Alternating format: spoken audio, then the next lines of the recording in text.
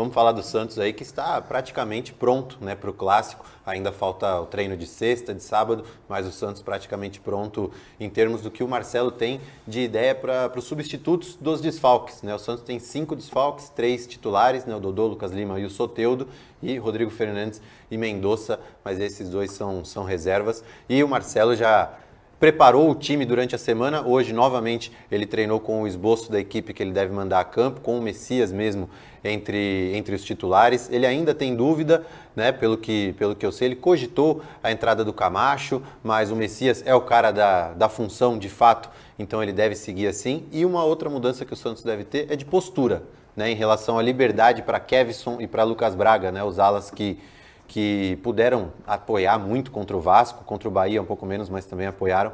É, o Santos pode pintar com uma linha de cinco, né, defensivamente, pensando com os três zagueiros e os dois alas voltando um pouquinho mais também, para ficar ali bem posicionado na sua defesa para depois poder ter, ter a transição, né, Vone? Mas aí, sobre, sobre o treino, os companheiros têm mais informações, a gente passa também durante o programa. Pois é, acho que no futebol nunca pode ser engessado, né? Não sei quando você tem aquele baita time, que aí todo mundo só se preocupa com você e você faz o teu e acabou, né? Na época do Neymar, por exemplo, e Ganso, era assim. Na época do Diego e Robinho, era assim também. Os outros que se virassem. Quando você não tem esse privilégio, que poucas equipes têm, você tem que jogar com a regra do jogo, né? Tem que ver, o cara é mais forte que você? Vamos se amoldar na humildade e tentar buscar o resultado.